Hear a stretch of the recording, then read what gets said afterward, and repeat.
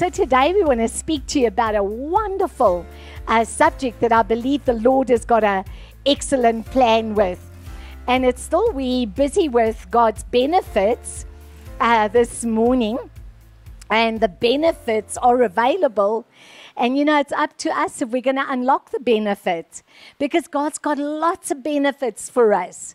But we have to want the benefit and we need to access the benefit. And the topic we're going to look at today is healing. And basically, it is healing against Satan's evil power. Because we need healing. But if we don't know who we're fighting and what we're fighting, we won't be able to identify what is needed. So, identification is so important.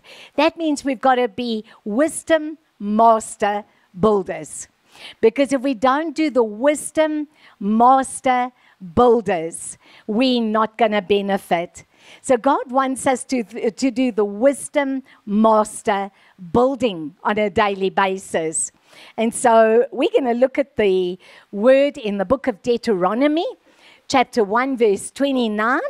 And the Lord says, Then I say to you, do not be terrified.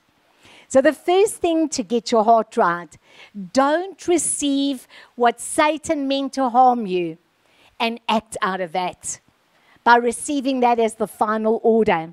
He says, Do not be terrified and do not be afraid of them.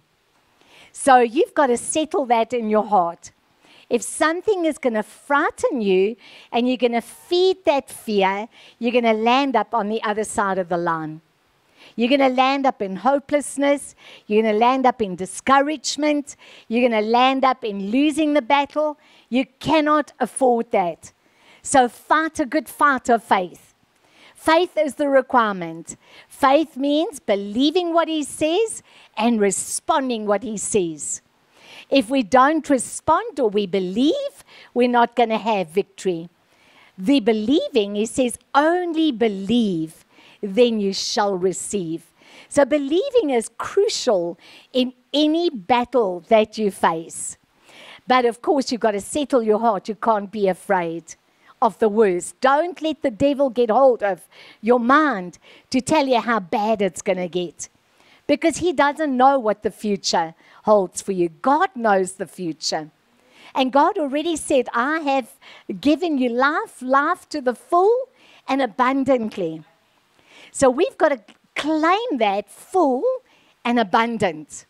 If we don't, we're going to speak what the devil wants you to feel and respond to. And remember, God says, My thoughts and my plans are higher than anything else.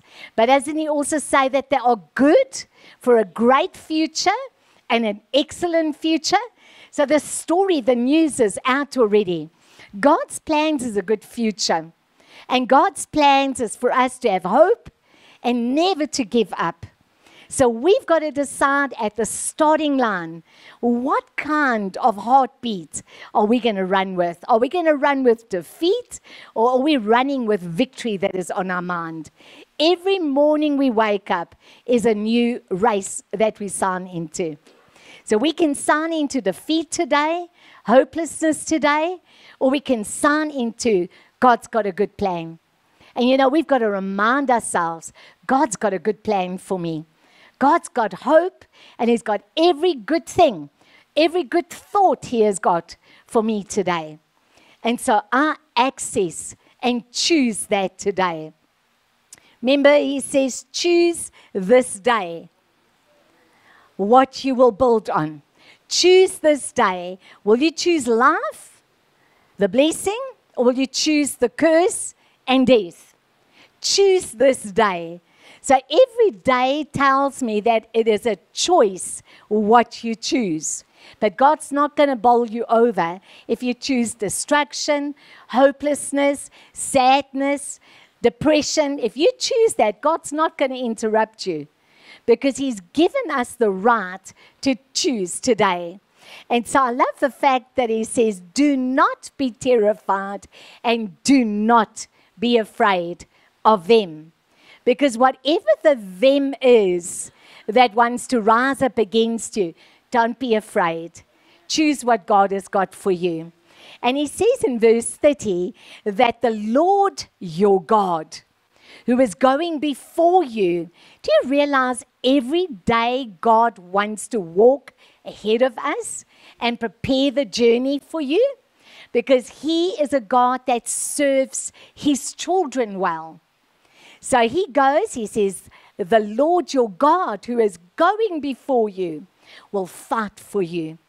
I love that. What a beautiful guarantee that God wants to fight for us.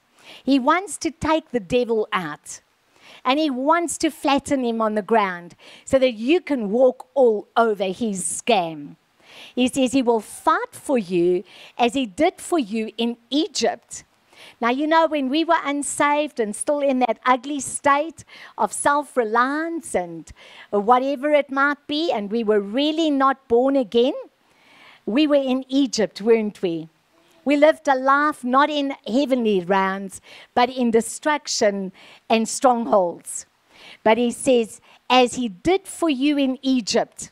So from the moment you life was put in you, he was fighting and he's been fighting for you and me.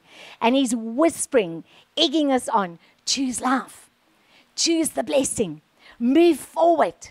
But we get so caught up with what we're going through that we're not listening to what he's saying to us.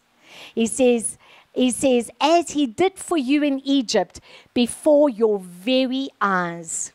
And you know, there were moments when you were unsaved that you realized that God was doing things for you on behalf behind the scenes because blessings were coming your way. People showed you kindness.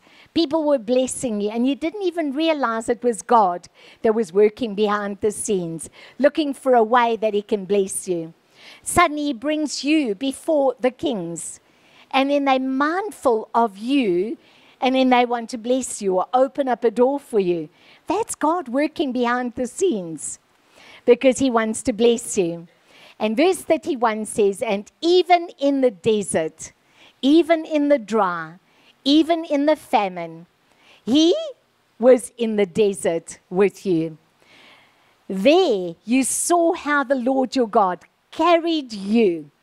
Many of us have said the, uh, the following statement God, I can't do this anymore. Anybody said that? God, I can't do this anymore. Anybody said that? Yes. And he says, There you saw how the Lord your God carried you. Because even if you feel you can't get it through the day, He still carries you through that day. He still works the time in favor be, on behalf of you. As a father carries his son, all the way you went until you reached this place. Now think about it. What is this place? This place of reliance. This place where your faith is active. This place where you're tasting and you're seeing the goodness of God. We can see that the Lord is speaking to all of us today. Now, here's some good news and a good example. In the book of Acts, chapter 10, verse 38, he says, You know of Jesus of Nazareth, how God anointed him with a Holy Spirit and with power, and how he went about doing good and listen what he did and healing all who were oppressed by the devil, for God was with him. So you can see that God brings deliverance as well. And healing, we can be healed from any oppression, any sickness, any famine, any dry season. God wants to heal us. And Jesus went about doing good. So if you think about it, even He wants to do good in your life, healing all who are oppressed by the devil, who's got a spirit of depression on them, who's got a spirit of heaviness. Do you know that if you have the discernment of the Lord, you can, uh, when you're talking to people, you can hear heaviness. You can discern oppression. You can discern no faith no reliance. And basically, those are all spirits that move in because they're given place in our lives. And we've got to recognize those kind of spirits that are at work. And he says, What did God do for the man when he saw Satan oppressing him? He sent Jesus. Hallelujah. He brought a solution in our lives. We got to hear about the good news, and the good news sets us free. And so we can see that even with this, in 1 John 3, verse 8, he who does, and I love that, does what is sinful is of the devil. That means we follow the devil's instruction. So I don't want to be a follower of the devil's instructions. He says, because the devil has been sinning from the very beginning, and it's true. What is his greatest sin? Pride, distraction. He lies to us. If you only just take that extra hundred rand, no one will see. What a lie that is. If you only just do this, no one will see. He's such a liar. But he says the reason that the Son of God appeared was to destroy the devil's works. So every time we celebrate Jesus, we know we've got the yoke destroying God on our side. He destroys yokes. He uproots the devil's plans. He interrupts the destructive plan. So every time you say Jesus, the plan of destruction has just been interrupted again. And so if we give glory to Him, He interrupts the destructive plan because we connect with life and life to the full until it overflows. But it is our decision is to hold on and embrace the one that destroys yokes. If we hold on and we claim what he's got for us, the destroying of yokes will be our portion. But we've got to hold on and not give in to the emotions, to the thought patterns of limitation, because every time we connect there, we connect to the devil's plan. And so God is saying discernment this morning. People were brought, many who were demon possessed. When he preached the word of God, they were set free. And so in the Greek, we can see to loosen those bound by the works of the devil. So you can see he binds people up in a yoke. That's what Satan's biggest aim is. And when he binds us up in a yoke, he limits every opportunity in our lives. And if we serve the yoke binder and the, uh, the one that holds us in captivity, then our lives are going to be limited. But if we go to God, He is the yoke destroyer and He loosens whatever grip the enemy has. He loosens us from the effects of the devil's works. So, Matthew 8, verse 16 is a good example how God would work on behalf of us. And he says in verse 16, And when evening had come, they brought to him many who were demon possessed. Now, isn't that beautiful? Taking the people that were demonized to the place to go and get their freedom. And he cast out the spirit with a word. Isn't that beautiful?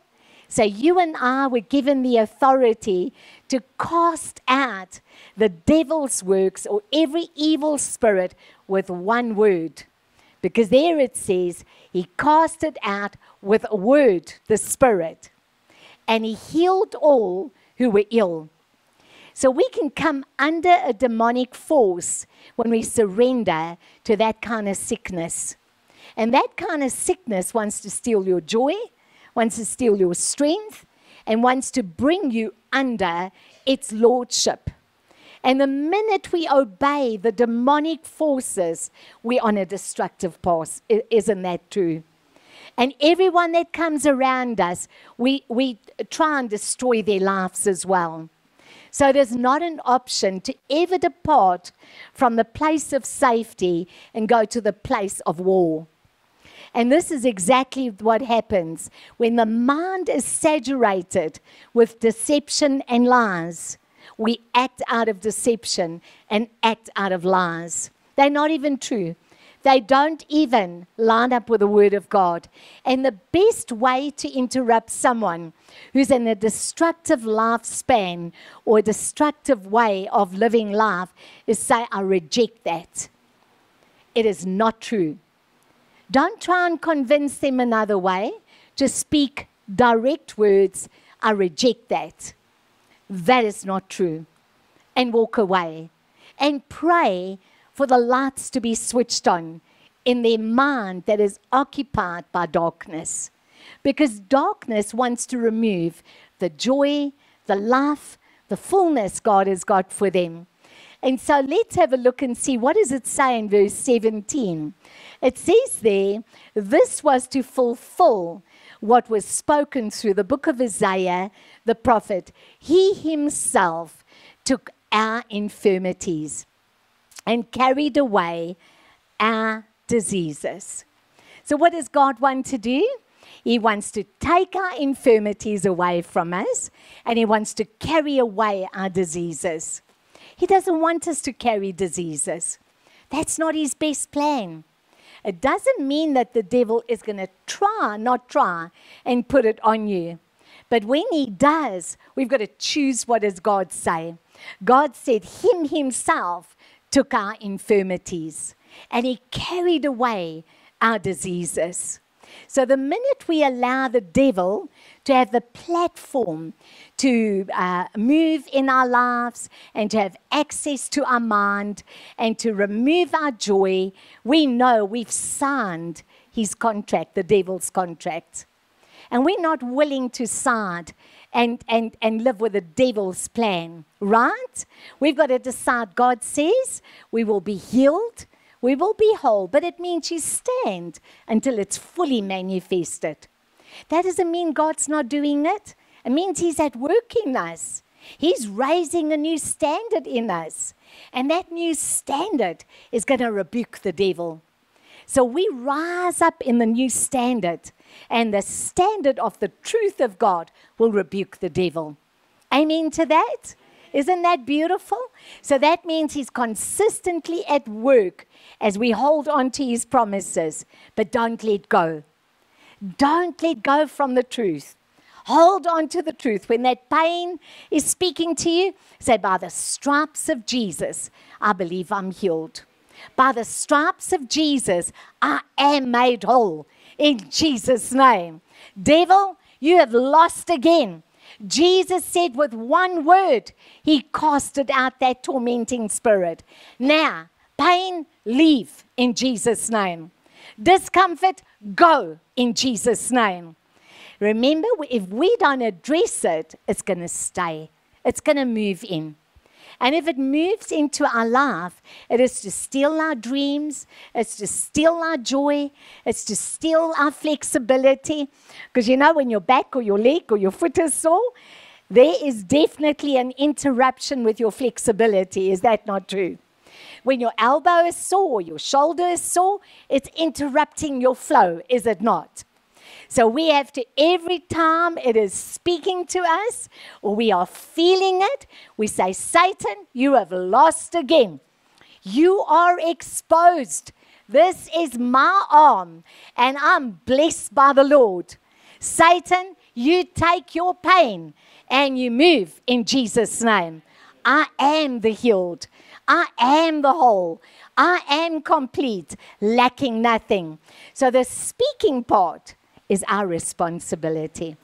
Because if you say nothing, you stay with the pigs in the parlor. You stay with a stinky problem. And the problem is not ours. Amen?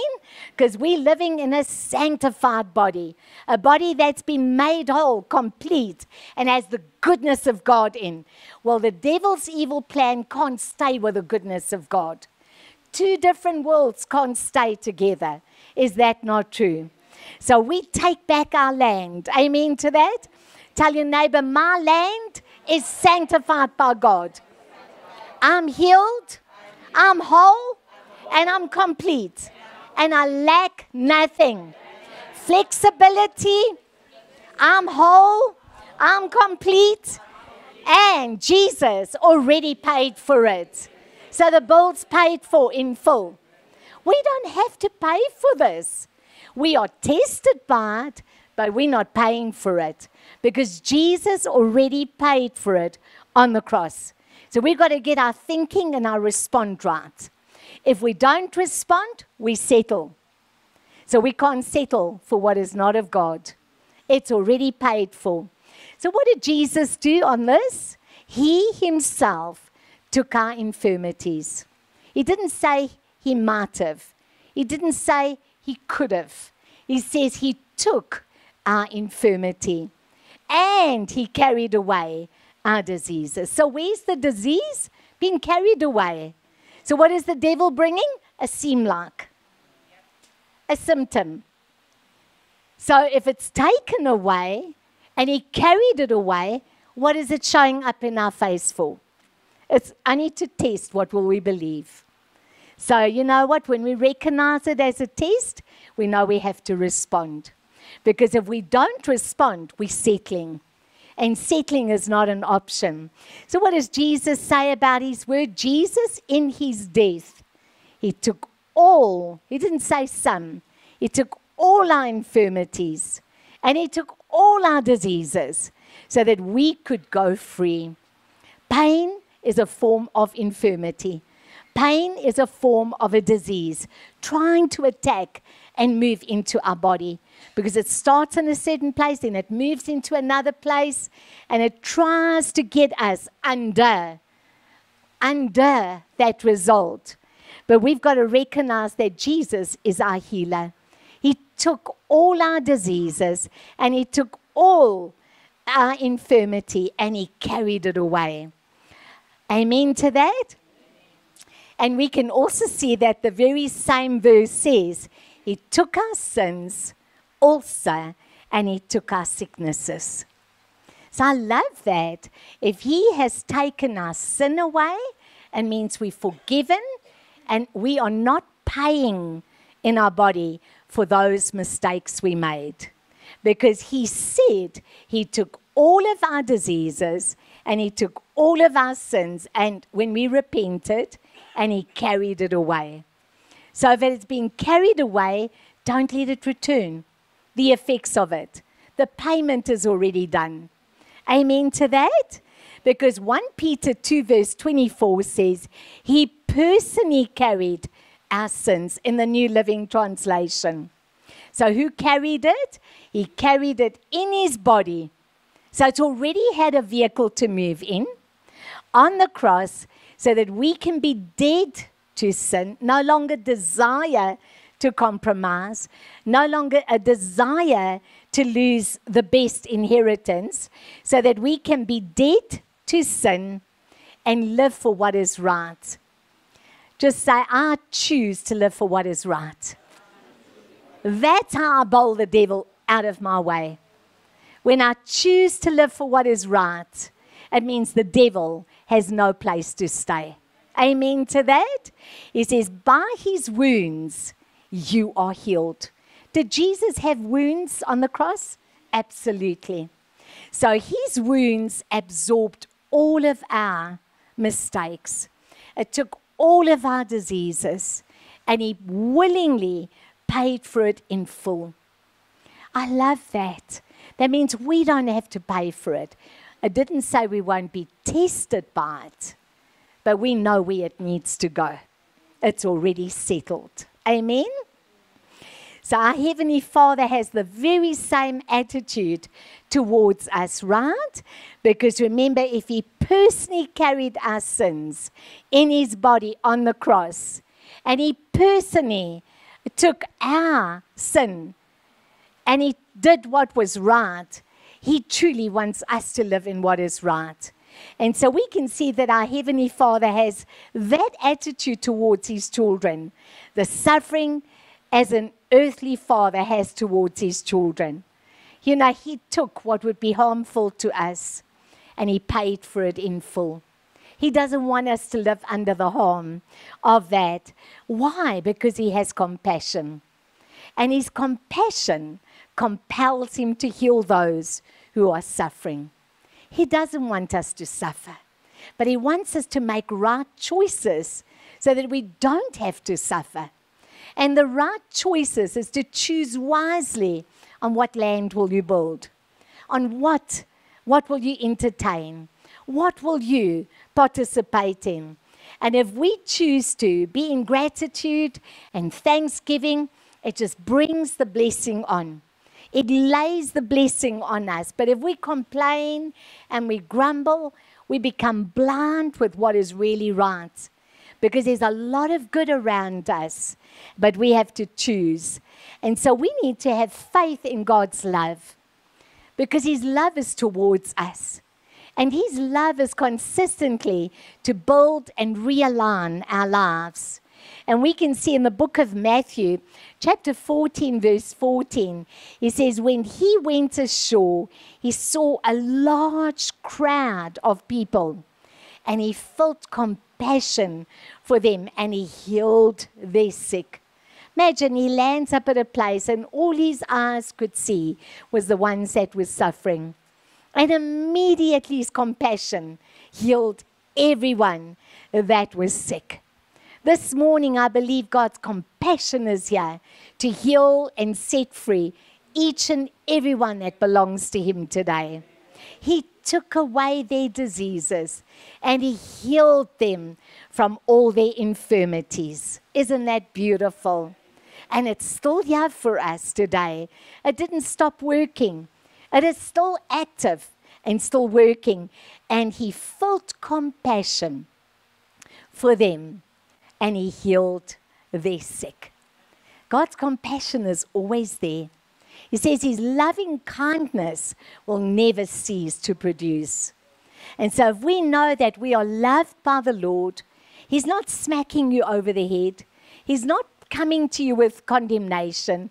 He's coming you, uh, to you today because this price, this bill, was settled already more than 2,000 years ago but some choose to stay in the valleys. Some choose to believe they're not worthy. And God is saying, You are valuable, you are loved, and my love takes care of you, is what He really is saying to you today. Because in 1 John 3, verse 8, the B part, it says there, The Son of God appeared for this purpose, that He might destroy and the Greek word says to loosen those bound by. So we can see that disease and infirmities can bind us, keep us in a stronghold and in that grip. But we don't want to live in the grip. We don't want to live in that grip, that hold, that stronghold of infirmity. Because he says he loosened those bound by the works of the devil. So we can choose today. I choose this day to follow Jesus. I'm not going to follow the route where the devil's name is written all over. Because if we choose to walk with the devil, we'll come under the works of the devil. And what would that be? Destruction, disease, infirmity, famine, loneliness, abandonment, every lie that he wants to put on us. But he says, I have brought you by the land of great influence.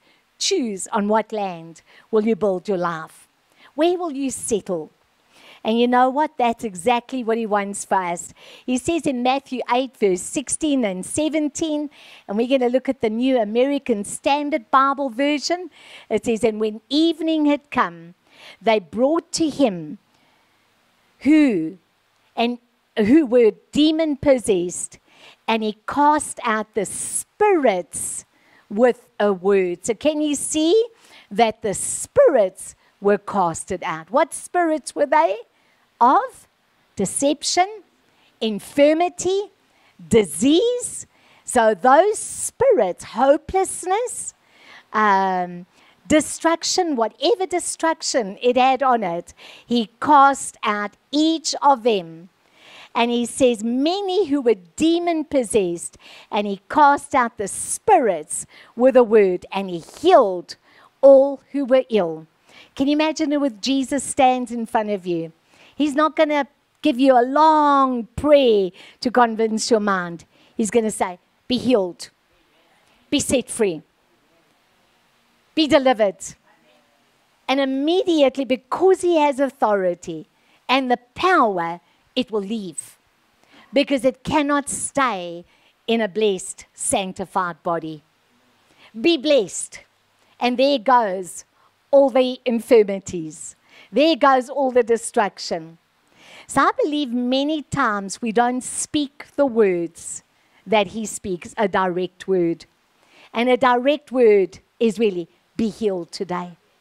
So look at your neighbor, be set free, be delivered, be blessed, sorrow go, death leave, life come in Jesus' name. A direct word changes the atmosphere. Do you remember he said, Be silent? And zoops, the zip just went on. There was no more nonsense talking. And then he had that demon's attention. And then he says, Out in Jesus' name, obviously. Go. And they were gone. And do you remember he said to the woman that was accused of adultery?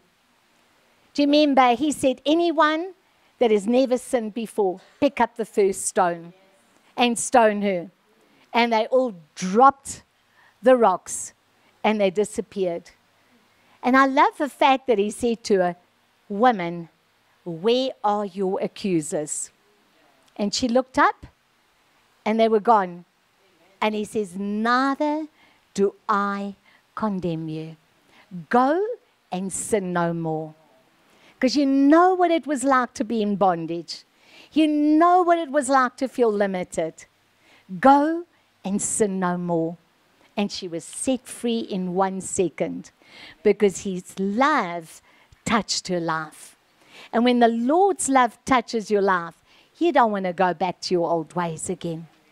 You don't want to practice the old anymore because the freedom and the peace you experience being free is worth so much more. And so they were delivered. And we see that in 1 Peter 2, verse 24, it says, And he himself bore our sins in his body on the cross. So, where is our sin? In the body of Jesus that paid for it. If we have asked him to forgive us, it is a done deal. It's finished. That we might die to sin and live to righteousness. So, how will we live? In the righteousness of God. And when we live in His right standing, we don't live under condemnation. So, the minute condemnation knocks on your door of your heart, so I'm already forgiven, I'm already blessed by the Lord. I am not the downtrodden. I am not the rejected. I am not abandoned. I live in the freedom where I choose where His invite is. So when the Lord invites you into His righteousness, He has delivered you out of abandonment, He's delivered you out of rejection. And He says, You are mine. You belong to the Most High God. So we live in His righteousness.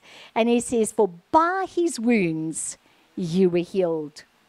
And you know, his wounds took our sorrow, it took our distraction, it took our hopelessness, and it made a way for us. That is why he says he's a way making God. And I love the fact he didn't say he's a limited God, he said he's a way making God where there seems to be no way.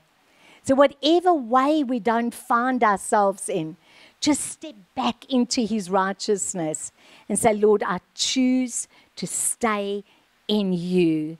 And through you, I know I can do all things. But if I'm independent, I'm limited. But if I stay with him, I'm not limited. Amen to that. So we need to have faith in his love, right?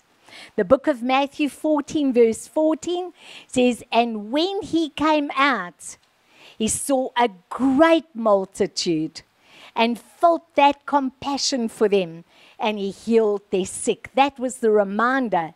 It was his compassion that healed the sick. So God's always got compassion available to set us free. But we mustn't live under the condemnation.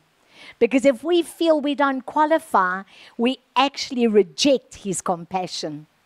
And His compassion is there, ever ready to bind us up, to lift us up, and to bring us to the place of victory.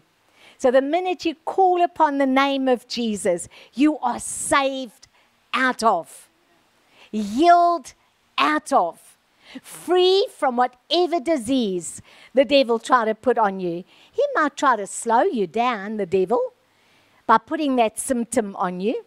And the appearance, you can see it with your eye, but you have to make a choice. Where are you going to take this to? Are you going to land up in hospital with us? Or are you going to take what Jesus paid for? I think it's cheaper and better to take what Jesus paid for. And it comes without trouble, isn't it? Because if we take what He paid for, we already stand victorious. We already have the victory in it. Amen to that. So when people say, I see you getting stronger every day, say, Yes, I'm working out my salvation. The salvation of God is adding no sorrow in my life. Yes, we're getting stronger by the day. How are you feeling today? Getting stronger. All is well. That means I'm not worried about this. All is well. God's got this. I've already prayed. I've given it to Him. That means I'm working this through. Hallelujah. So He gave us the same power for healing today. And it never stopped ever to produce. It is still working for us today.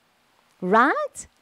And remember, most important, we have the authority to use this power of God to do the work of Christ whenever we need to. So it is available. You just have to access it. You have to take and lay hold of it, and it will come to pass in Jesus' name, right? So, what do we hear? We're hearing today that God never changes.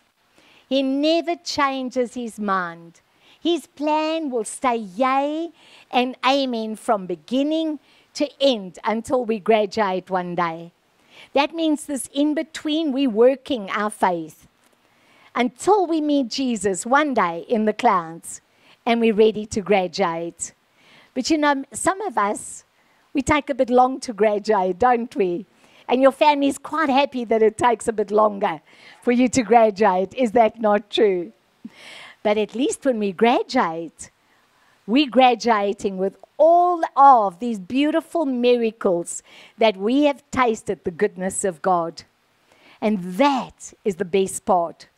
So remember, he says, what he did for mankind on the earth more than 2,000 years ago, He's still doing today by the power of the Holy Spirit working in us and through us. And that is so beautiful. We still have the same Holy Spirit that is working in and through us. But if we reject the Holy Spirit, we won't have what He can do through us and in us. And that is why it's important to hold on to your faith and don't reject the Holy Spirit. Because when we reject the Holy Spirit, we reject every benefit He has for us. And we're not giving up on the benefits. The book of Luke, chapter 10, verse 19, says that, Behold, I have given you authority. And I believe when people are going through tough times, remind them of what does this word say. You've been given the authority. He says to tread upon serpents and on scorpions and over all the power of the enemy. Is some power or little power or a lot of power? All power. He says, because when you take that all power you've been given, and he says, and nothing shall injure you. Nothing. Not even if it looks like that. Nothing will injure you. So that means no fear, young. No fear. Because faith lives here. Holy Spirit is in me. I can do all things through Jesus Christ that strengthens me. But we've got to open our mouths and say, What does Jesus say about this? He says, You are complete, lacking nothing. You have been given all power to trample on snakes, on scorpions, and all the power of the enemy, and nothing shall injure you. The only time things will injure us is when we go back to the flesh, to the limited way of thinking, to the leaving God out of the picture. But if you put God back in the picture, you can do all things. You live your miracles. You live in the fullness of God's plan. Hebrews 13, verse 8, gives us another example. It says, Jesus Christ is the same yesterday and today and forevermore. So you're not going to run out of the goodness of God. The goodness of God has been with you yesterday, it's with you today, and the goodness of God is on your path in the front. We heard at the beginning of our teaching that He goes before us, preparing the journey. So we already have God that has opened up the way for us to walk in. But it's got to be the blessing way. Can't be the limited way of thinking. Can't be go back to the stronghold. Got to stay in the freedom. Because if we choose freedom, He backs you all the way. But if you choose limitation, the devil starts raising the levels of attack because now he's got you in a grip. And all he wants to do is get you to curse God and die and say, Where's God in all of this? There's no God. God's not hearing my prayers. Now that means the devil got it right to lie to you and you're starting to believe that his plans are not for you. Amen? So we need to repent. And then, last, to really bring us back to the full impression of what does God say? He gave us the same power. So, where is this power? It's the same power. In Luke 10, verse 19, behold, I have given you authority. So, who's got authority? We do. He says to tread upon the serpents. That means all those demonic forces that wants to undo your faith. All those curses that wants to move back in. And he says, and scorpions. And that means the poison that the devil wants to try and put in our minds. So if we will not take the poison that the devil wants to put in our minds and to become curses as well, he says, and over all the power of the enemy, and nothing, he didn't say some, he says, nothing shall injure you. Well, is God take, talking the truth here? Nothing shall injure you. But you can't stay in two camps. You've got to decide is God speaking the truth to you? Then you have to apply what is true. And if we don't apply, we can't have the benefits. That is how benefits work. You have to hear, you have to speak it, and choose to do it. Then we get the benefit. But passive Joe's not going to get it. And passive Sally is not going to get it. We have to work our faith. So look at your neighbor. Say, neighbor, I'm working my faith. I'm believing the word. I'm speaking the word. And I'm responding with the word. And God will do the rest. That means I have victory already in Jesus' name. So victory is with the believers. They taste the goodness of God. They live with the benefits of the Lord. They have the strength to push past the obstacles. So look at your neighbor, say, neighbor, move that muscle of yours. Come on, guys, where's your muscles? I mean, my little grandkids, when they were young, they said, I'm strong, Nana. And then they had these tiny, thin little arms. Nana, just look at my muscles. And I said, Yo, they're so big and strong today. And then they say, Feel it, Nana, it feels like rocks. And then I'll feel that little delicate little skin. I said, It's stone hard.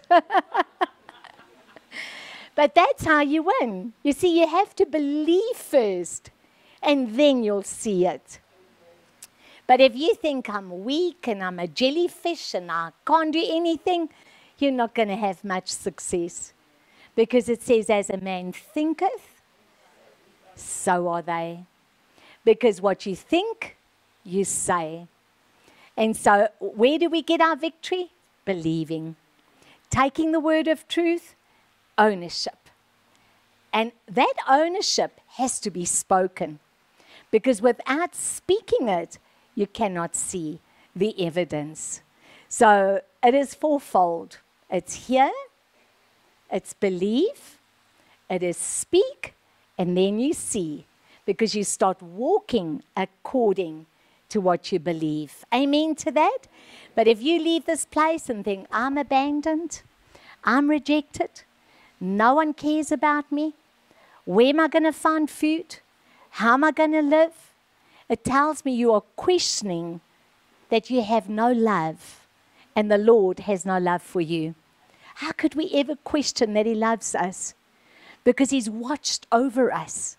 We heard this day today that God works and He goes before us and He prepares the way for us. We've got to just choose to walk with Him. And then we will have what we say. Amen to that? So let us just pray. Who believes that the word was for you today? Then this morning, wherever you have a need, put your hand on that spot. If it's your wallet, put your hand there. If it's your heart that needs repair, put your hand on your heart. If it is your leg, put your hand on your leg. If it's your foot, I don't mind. You can put your hand on your foot. No one's going to worry about that. If it's your ears that need healing, then put your hands on your ears. Whatever it is, but whatever you don't apply to, you can't have because it requires faith. And so this morning, if it's wisdom, put both your hands on your head. Because let me tell you, we need wisdom. We need wisdom to have great success in this world. If you don't work the truth, you won't see. So we've got ourselves to blame for not applying and not working our faith. Because our faith, when it is active, it's always rewarded. God is never empty handed. He wants to heal us, He wants to save us out of that destruction. He wants to strengthen us and take weariness and tiredness and everything that's not working off of us so that we can have success. And this morning, we're getting ready for a successful week because there's no limitations on our pathway. When we take God with us and we walk with God, we shall eat from the good of the land. Is that not what he says? He's not going to trip us up. We'll eat from the good of the land because God says he's a rewarder of those who diligently seek him. So if we seek God, he will put our footsteps in that next job. He'll put us in that next place of victory. But our focus has got to be God, not man. So this morning we focus our whole mind on the King of Kings and the Lord of Lords, the one who paid for me on the cross, the one who forgave me for all of my sin, all of my weaknesses. But if you're going to hold on and feed your weakness, it's going to destroy you. The weaknesses of our flesh needs to be pinned on that cross. And if you do that today, I heard a beautiful testimony of someone that wanted to give up sugar. And she says it was quite hectic, her craving for sugar. She'd make a big tray of, of um, um, fudge. And in one short little moment, she'll eat the half of the tray in one short moment. And she'll get into bed and she'll take the other half. And she's a skinny lady. It was almost impossible to believe she was thriving off so much sugar. And, but she was having pain in her ankles and pain in her legs because of the sugar that was causing inflammation. And she just one morning she got off the bed and she says, God, I cannot do this anymore with this sugar. Now, whatever it is, if you say, Lord, I cannot live this life anymore. She says, in that day, she got totally set free. And she never craved sugar after that day. But she meant what she said. Cannot live like this anymore. I cannot do this anymore. And God heard her. And right up to today, she has completely shedded sugar. Any form of sugar. She doesn't even crave for any sugary thing anymore. Any of us need to put that on the altar. Whatever craving you have that does not feed your faith or your future well, see yourself, take it today, and put it on the cross and say, Lord, I cannot do this anymore. Because we could live a yo yo life up, down, up, down, up, down. And every time we come down, it's like our joy just goes with it as well. And so today, let's pin it on the cross and say to the Lord, No more. I cannot do this anymore. I choose to live in your promise, and God will do the rest for you. So let us pray. Whatever it is that you are giving up, whatever it is you want to be whole, whatever you want to be complete in today, ask the Lord to set you free. And He's going to do that right now. And the blood works, God's working with that. Hormone levels, working with that today. In Jesus' name. I just see depression going today, despondency is leaving today. I see that that high inflammation levels causing pain in your body is leaving today. No more. We won't have that anymore. Won't have to lug that with us anymore. And from this day, we're going to be healed. From that sorrow, you're going to be healed. You see, we can't walk faith for someone else. They've got to choose to walk there. It, life comes with a choice. We can try and convince people to choose Jesus, but they will only choose him when they see the value how it'll benefit them. But today we ask that the Lord would visit them. We call forth visitations where God will visit those people to choose life, to choose to be healed, and not stay where they are. Because life is a choice. Broken hearts today, disappointment. God is healing you from that. But if He heals you and you give it to Him, don't go back there. Remember that you've asked, and that petition is granted the minute you ask. In Jesus' name. Father, we today bring your people to you. Lord, that disappointment, we place it on the altar. Those addictions, we place that on the altar.